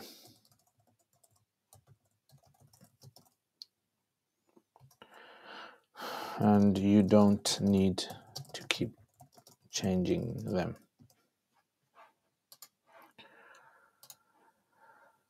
Okay, khalas, khalas, khalas, done. So, uh, uh, questions which are aqidah questions that are sort of like very controversial issues, I don't go into them. So I just I tell you guys all the time because so live streams are not for that. These are for classes, structured classes. Yeah, so to go into questions regarding these, which there's clear sort of like, you know, um, controversial issues around it, and a lot of people are going to get confused and not understand. Okay, um, why is ghusl valid if paint is left in the hair? Because mm, obviously, if water can't take it out, then you know how are you going to get it out? You can't get it out, can you? So therefore, your ghusl is done. For women's hair, women do not have to wash their hair. That's the thing in ghusl. Going to Hanafis, they don't have to wash their hair.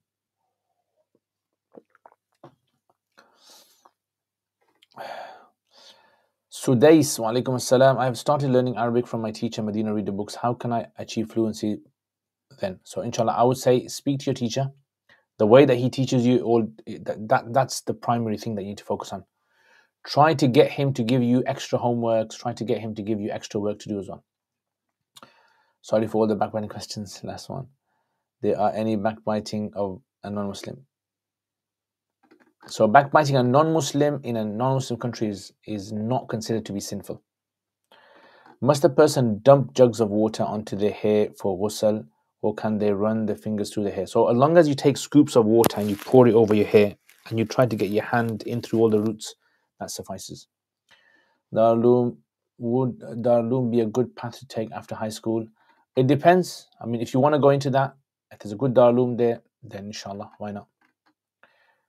I would say, first of all, before you go into it, thoroughly learn what happens in a Darulum, what is studied, what is achieved at the end of it before you go into it. Just like you would do if you're going to go university or get a job. Masir Ali wa alaikum The issue is tamassuk with the tradition without understanding the purpose of the tradition or what it stood for. Yeah, I agree with you, bro. Saleh Allah, do you think that another Nahu book after Hidayah Nahu is required? Uh, it, it just depends. I mean, it depends how much the teacher has implemented it. So, if you can take a verse of the Quran or a, an Arabic sentence and you can break down the tarkib and explain all the Nahu rules in that verse, you do not need to go beyond Nahu Hidayah now. I would say. You don't have to. See, it all depends upon how the book was taught. How to be fluent in English plus which are the Arabic cartoons? I don't know how to be fluent in English, my brother. Maybe someone else who's an English teacher can help. Plus, which are the Arabic cartoons? Go onto YouTube and type in Arabic cartoons. What are your thoughts on Anwar al Bayan? I haven't gone through it. How does one develop creative writing skills in Arabic? So, what you do is you simply just read Arabic text, close it, and then from your mind, you try to write out whatever you remember from there. Then you read it again, then you close it, and then you try to write more. And then try to do it about three times. And then what you do is you try to take snippet sentences and then you try to use that to write yourself some nice new sentences. So if you checked out my uh, Malfluti series, my Malfluti series, and Short Arabic Stories series, I've got my YouTube channel. Check them out. Thoughts on Medina Arabic reading books? Very good. Go for it. Study it. How does one develop a strong understanding of fiqh during the Alimiya course? Uh, I think it's all about teacher. Teachers extremely important in fiqh. Never underestimate a teacher if you're learning fiqh. The teacher has to have passion in fiqh. The teacher has to be very well versed in fiqh themselves. Okay, I'm gonna go off Instagram now. So Instagram people, take care, inshallah.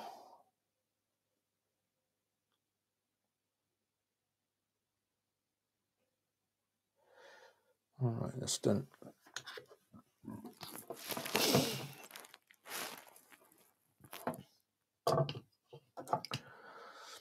So it's very important. You need to have a really good teacher, honestly. Never underestimate. Don't just say, oh, the teacher has covered a bit of fiqh. You can study with the teacher who just can explain the, the masala. That's fine. But if you really want to get into fiqh and you want to master it, you need to sit with, like with any science. Dennis, wa alaikum assalam, brother. Can a Muslim take loan from the bank to start a business in a non Muslim country? I would say, look, if a Muslim business, there's no way for them to get that money. They've tried hard. It's very difficult for them to be able to start that business. They've tried their best. Then, as a last resort, I would say there is possibly permissibility for this. Yeah. What I would suggest is what you do, Dennis, contact a scholar privately, present your situation to them, and then they'll be able to give you a more precise answer. Because this is not like something that you can give a general answer to. It's, it's more to do with a case by case. How one develop a strong understanding of hadith, you know what I mean? Because again, you need to have good teacher. Honestly, you need to have a good teacher.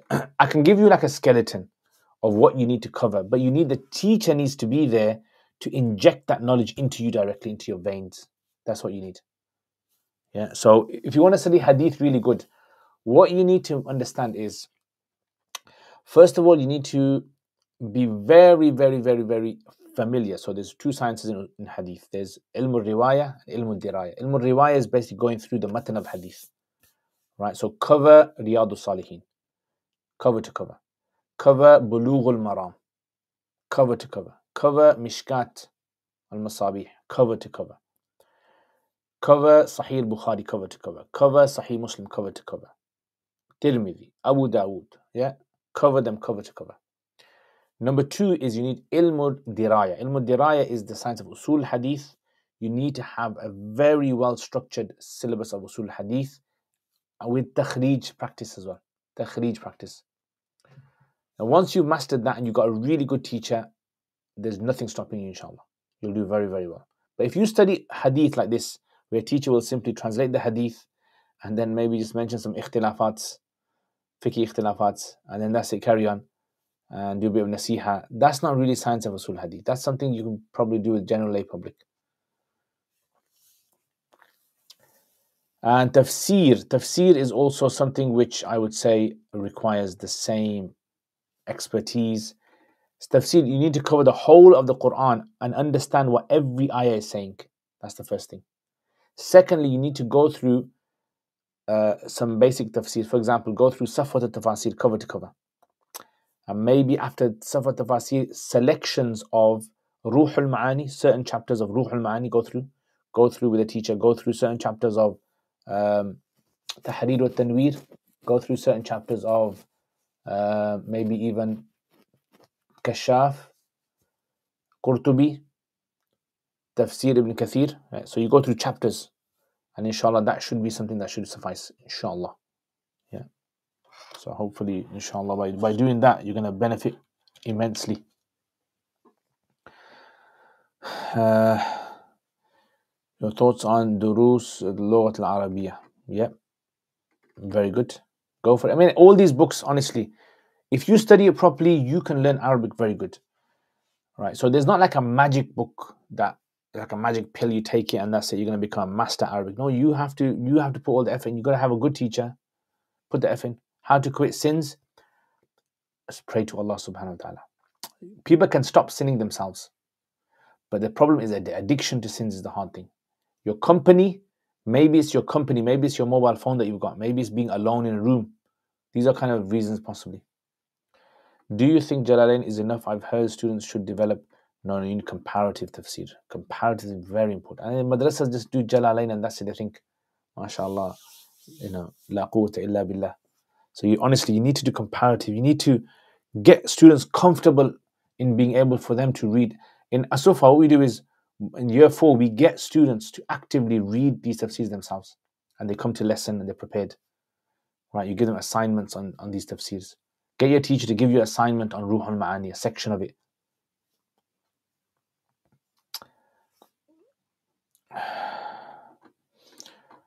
Uh, Walaikum assalam, Ajwil, ahlan wa sahlan. How do I ass- assess the outcome of istikhara? So, istikhara is very straightforward. If you're going to get married to someone, if you're going to buy a car, you go, you check them out, you check the car out fully. As long as you're happy with it, you do istikhara. Once you've done istikhara, you go for it. Do not wait for any sign, any dream, nothing. Just go for it. That's what the Prophet ﷺ said in the hadith. Yeah, and some scholars say that you look for a sign or a dream.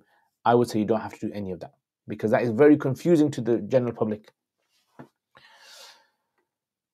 Uh, can a person put a YouTube video to of adhan into a baby's ear? Can a woman also?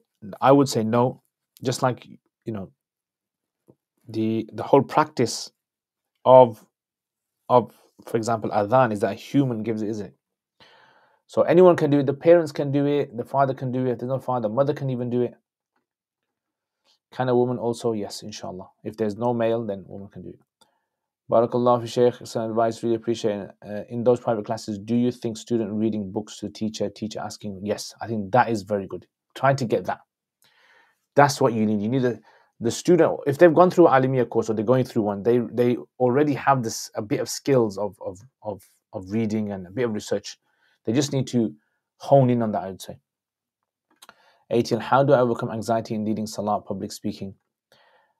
Um, so I don't know exactly how anxiety is overcome because that's not my specialty, my field. But I would generally say if you want to overcome shyness or lack of confidence in public speaking, leading salah, you need to put yourself there as much as you can.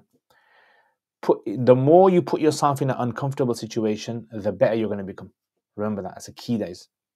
The more you put yourself in uncomfortable situation, take yourself out of your comfort zone. You might be an introvert. If you're an introvert, you got to work harder but put yourself in uncomfortable. I would say do this every single day if you can, or every single few days.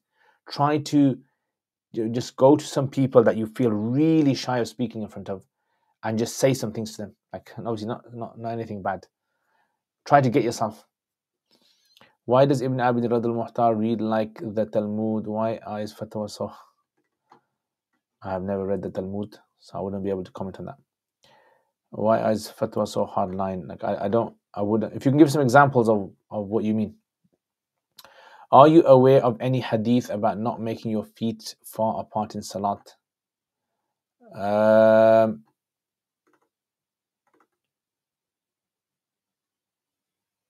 no, hmm, I can't think of any. Alaikum assalam. Go to bed. Uh, Kazmataz, alaikum assalam. Why so late? That's it, man. This is what we do, guys. This is what we do. This is what I do for you people. This is my love for you people.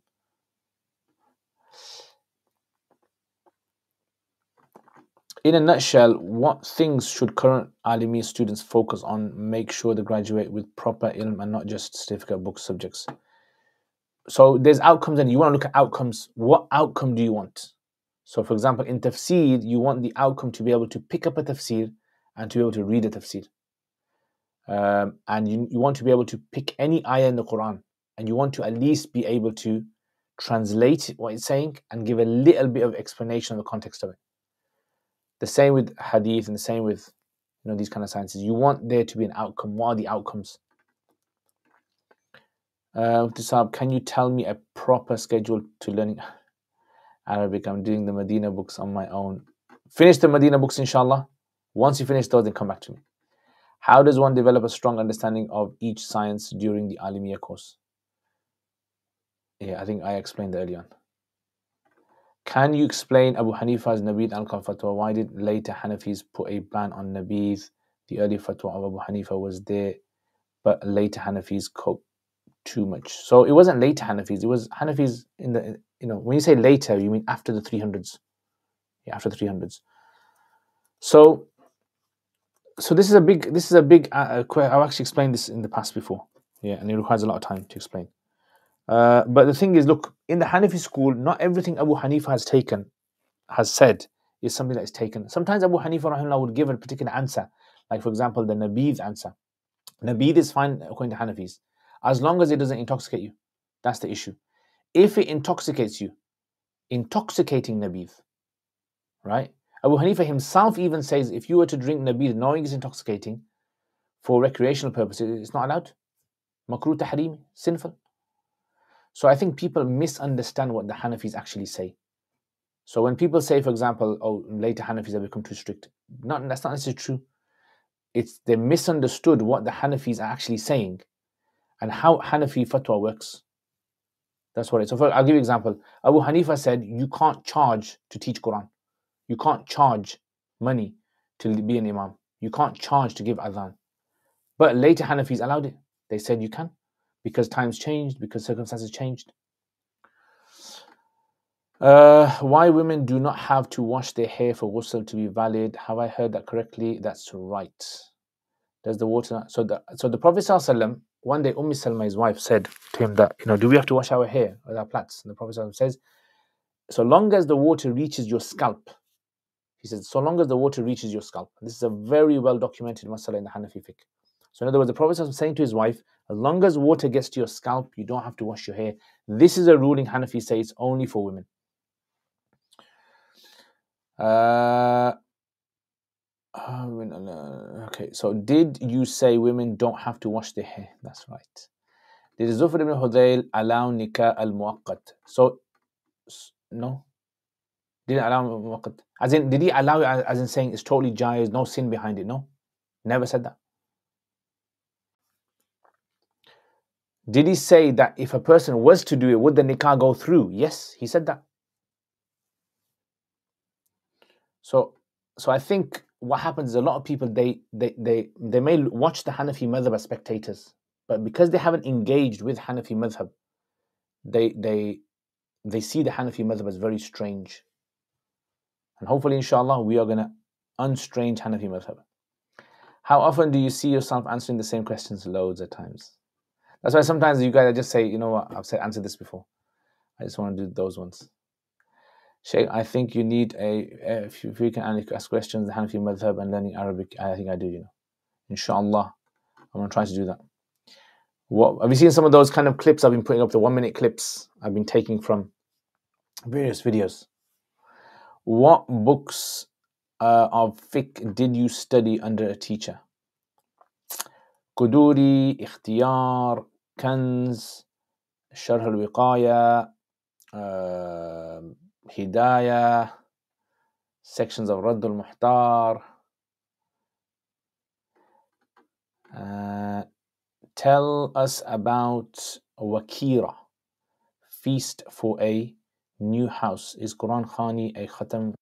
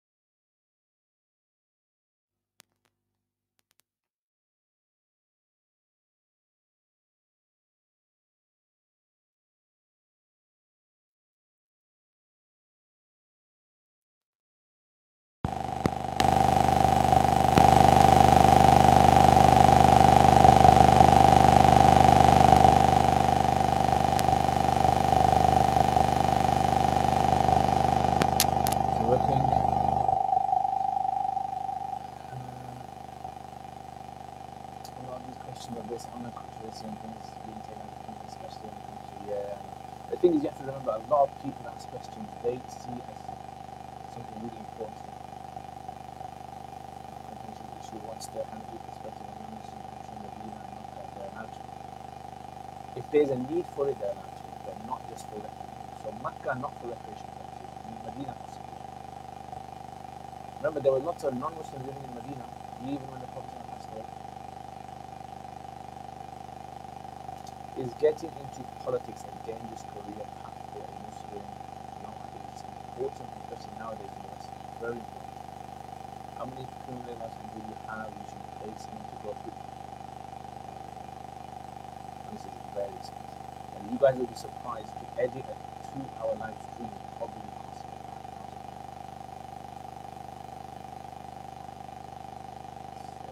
to edit it properly. Thousand pounds per stream. And it's not a very cheap, shoddy thing to do. Time stamping would probably cost maybe maybe hundred pounds.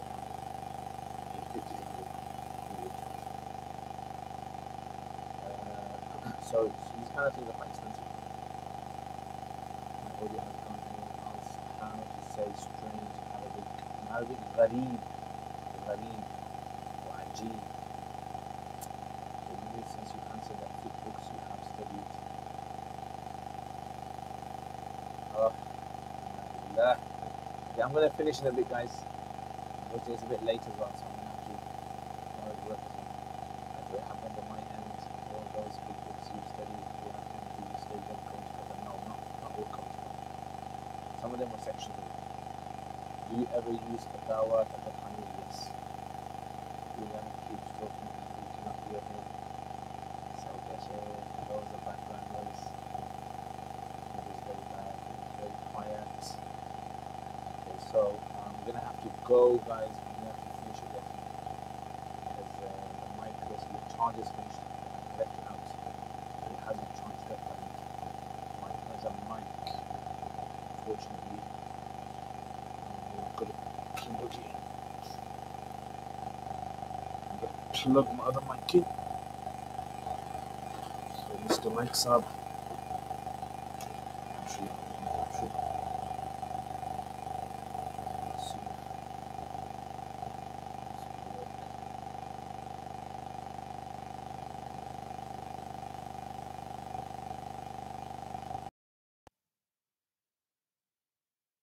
This is the old mic I'm using. Yeah, testing one, two, three. You guys can hear that now. So yeah, so basically, um, I think I'm gonna finish it there. So it's a bit late as well. And I think you guys, mashallah, your questions are not gonna are not gonna end. I don't know exactly where the sound disappeared. What question was it? The fiqh question, yeah. Yeah. Oh, so that's quite quite far back. Yeah. So, um, just just to just to quickly just for those who asked the question. Uh, actually, no, I'll leave it next time, inshallah. Jalo khair. Inshallah, no one's gonna die not knowing the answer to a fiqh question. Inshallah, in my live streams. Inshallah. So, jazakumullah khair, guys. May Allah bless all of you guys for tuning in. May Allah keep all of you guys happy. I do apologize if I have sounded a bit ab- abrupt and answered some of your questions. So, what I would suggest, look, sometimes you guys have good questions, um, and sometimes you guys can can Google the questions. Honestly, it's not very difficult to Google the questions. Right, some of the kind of things that you guys can ask, you can it's easily just to Google it and find out things. Um, when it comes to learning the, the Arabic language, I would definitely say learn the Arabic language, but you gotta throw yourself in the deep end.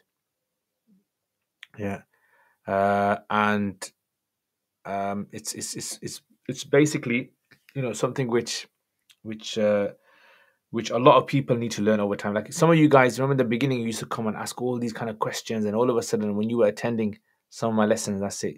You realize oh, a lot of the questions I was asking can easily be answered.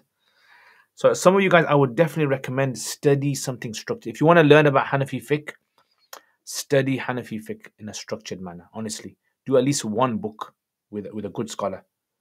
Then you get more familiar uh, with uh, with Hanafi works, and that way what, what basically what, what what can happen is a lot of these questions that you have will easily be cleared up. There's a lot of people who have misunderstandings of the hanafi school because they watch the hanafi school as a spectator. And what you need to do is you need to um, you need to basically um, familiarize yourself with it. Yeah that's all it is. And if you are studying an Alimiya course or you graduated and you you feel you're very weak read your books again start start reading them on your own inshallah Anyway, guys, take care. Jazakumullah khair. I will see you guys next time. May Allah bless all of you guys and keep all of you guys happy, inshallah. And uh, hopefully, I will uh, see you guys next week. Assalamu alaikum wa rahmatullahi wa barakatuh.